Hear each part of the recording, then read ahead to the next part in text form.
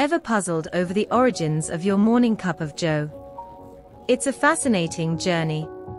One that, for a particular type of coffee, begins in the lush terrains of Mysore, a region nestled in the southern Indian state of Karnataka.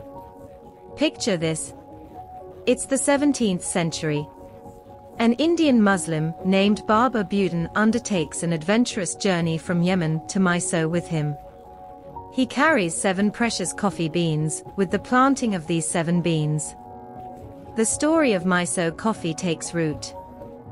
Fast forward to the present day, and you'll find that Karnataka dominates the coffee production in India.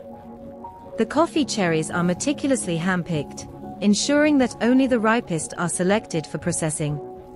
How exactly do these beans transform into the aromatic beverage that we all love?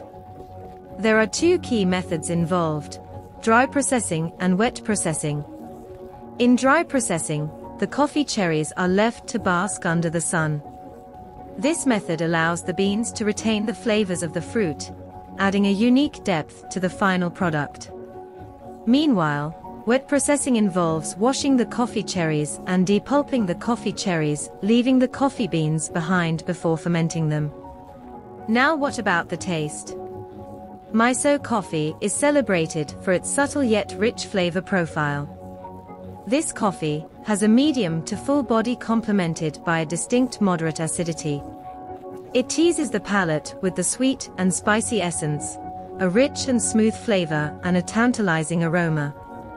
The flavor is described as sweet, mid-toned and intensely fragrant, with notes of sweet citrus and fresh cut cedar. The next time you sip on your coffee, Take a moment to appreciate the journey it's been on.